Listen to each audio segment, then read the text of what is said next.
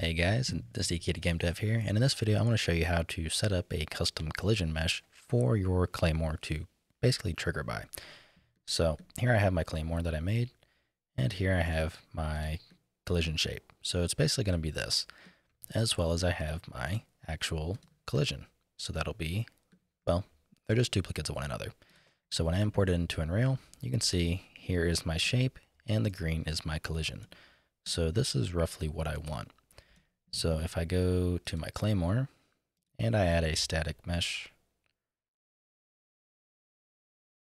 which is our Claymore collision, you can see this is basically going to be my trigger.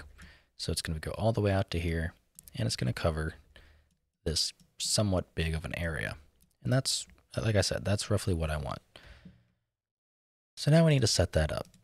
So what we're going to do is we're going to go back to our Claymore here. I'm assuming I'm going to have to close down the editor so it doesn't crash. Close out of Blender as well. We're going to change our Claymore overlap to, well, a static mesh component. So if we head back up here, here we have our box component. That's going to be still called our Claymore overlap component. And just kind of leave it like so for now. So let's go ahead and run it. Okay, once we're back in the editor, let's go to our Claymore. And here we have our Claymore overlap, which is currently nothing. Eh, great. It going to do one of these annoying complaint? Let's see. Let me just do this as a test really quick. All right. Yes, it is. Not entirely sure how to resolve that. Uh, let me see if reloading it'll work. So no again.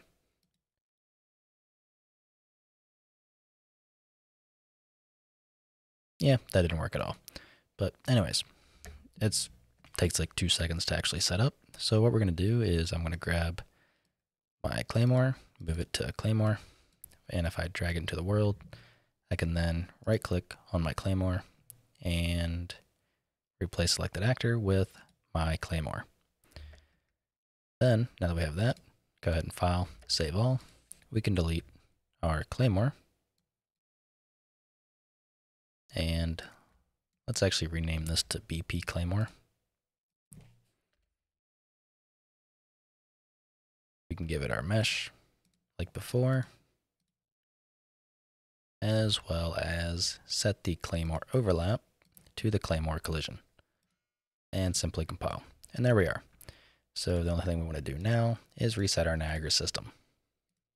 So there we go. Let's make sure it still works and it's going to be kind of a pain because we also have collision. So we're going to have to fix a couple things. So for now, I'm going to leave this visible. But one thing you actually can do that in my opinion would make this a little bit nicer, I'm going to go ahead and duplicate, what is control W not duplicate anymore? Oh, it's control D. M underscore Claymore overlap. Is you can make a somewhat transparent material act as kind of like the danger zone. So I'm going to give it a value of red. And I want to make this, instead of being opaque, I want to make it translucent.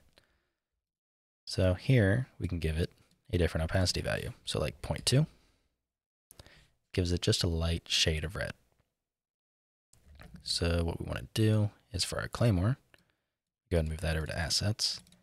For our Claymore Collision, can set it to our Claymore overlap. So it's this light, you know, kind of red.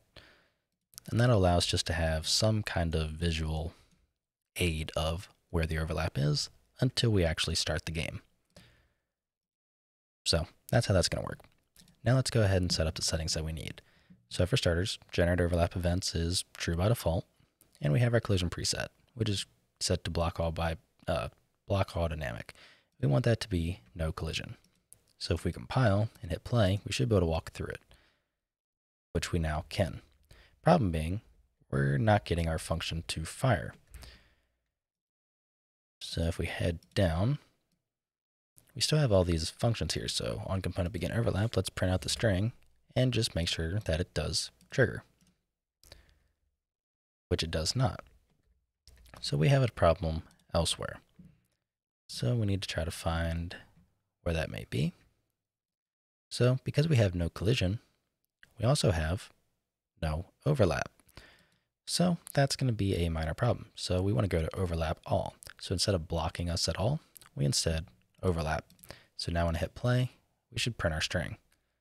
Like so, we print out hello, and we also fell to the ground. So we walk through it. Second we touch it, we go poof. And that's the result that we want.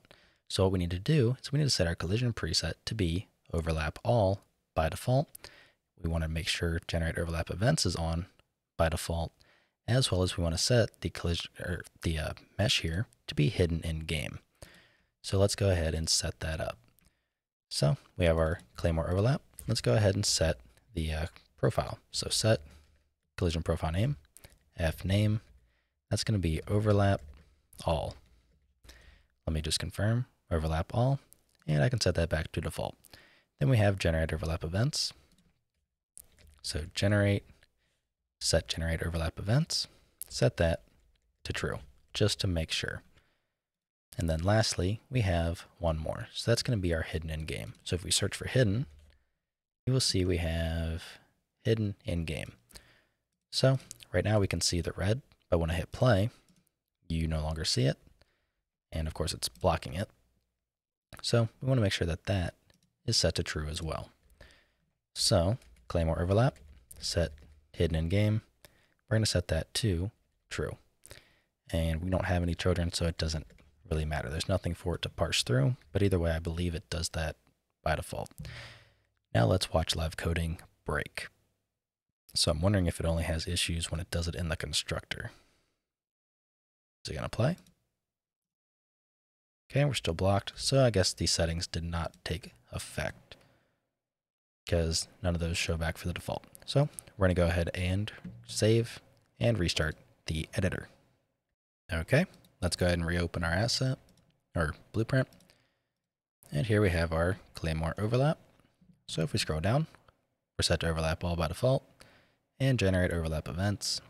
And we're set to hidden in game. So now our defaults, when we play, we no longer see it, but we generate our overlap events and we ragdoll and die. So that's pretty much it. Uh, the only thing I have left really to show you guys would be in the next video, and this is more of an optional one. And that'll be for like the team setup because I want to show you how to kind of work around the module because we don't want the module to rely on our Claymore tutorial character class in any way.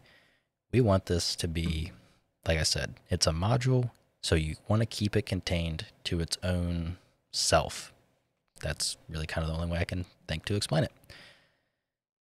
But yeah, uh, that's going to be all for this series. Again, the last video is optional, but if you like what I'm doing and you want to help support me, you can find a link to my Patreon in the description below, where I have a Team Deathmatch series and a couple others. And if you have any questions or anything like that, feel free to hop in my Discord and I'll try to help you out. So I will see you in the last video, or this one. I don't care.